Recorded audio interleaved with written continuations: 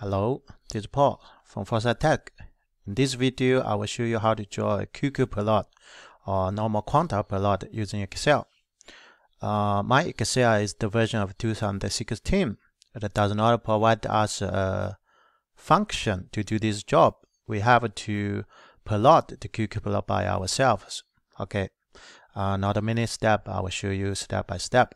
The first, sort the data from the smallest to the largest okay to this. Click uh, the data column and then go to the right top corner sort click left click. Sort from smallest to largest click. See we finished the first. And then uh, we give a rank for each data point okay which is this. Let me put a rank. The this is the rank one and then rank two and then goes on rank 3, 4. Um, we can uh, do the simple way, okay, by select these two boxes, okay, it will find the pattern automatically. So move your cursor uh, to the right bottom corner. So here, see, it goes to black cross, left the hold, and draw down, draw down to the bottom.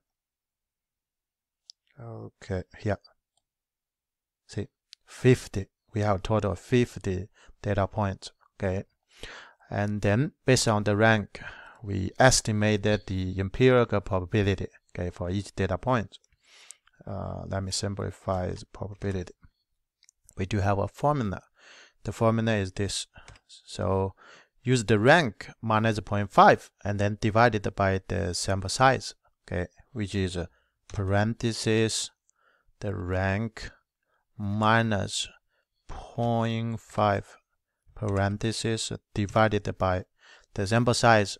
Okay our is 50 you just see okay 50 and then enter that's the empirical probability for the first data point and then uh, copy the formula down to the bottom the same.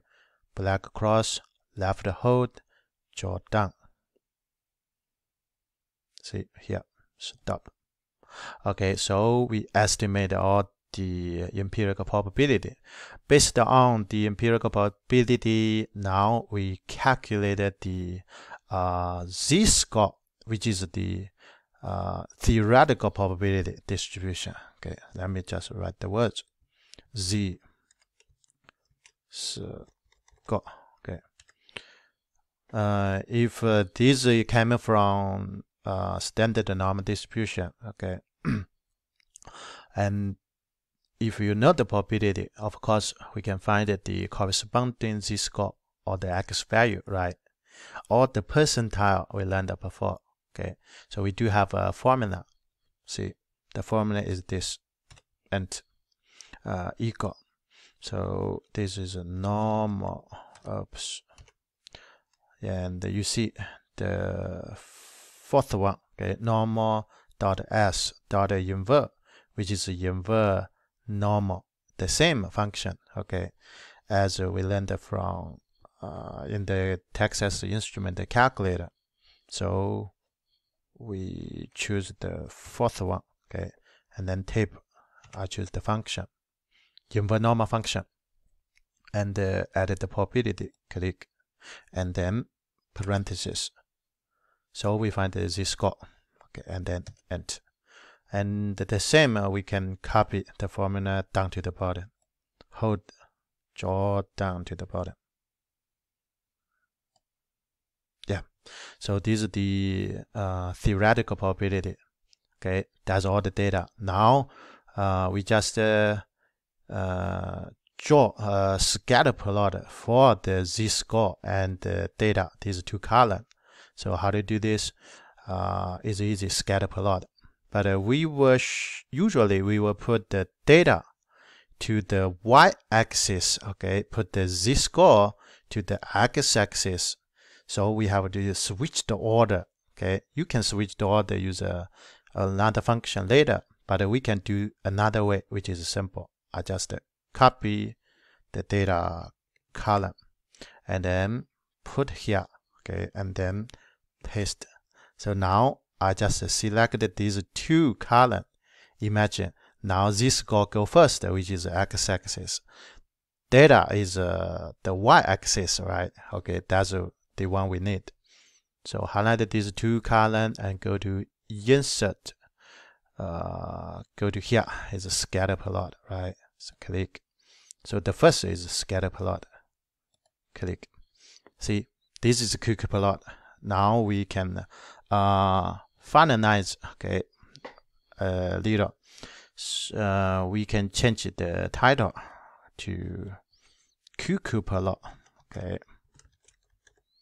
And uh, we also can add the the axis label okay so we can do this. So highlight this uh, chart okay go to the right corner you see plus okay. That's a chart element that we can add click. Uh, we can add the axis titles. Okay let me click this. So the data is on the y-axis right? Okay so you can control it. here is data. Or empirical distribution. Good and then the x-axis this is the z-score right we just did. Let me type z-score. Or uh, the uh, theoretical distribution. Mm, see, our QQ plot looks like a straight line, right? It's a very good straight line. It means uh, what?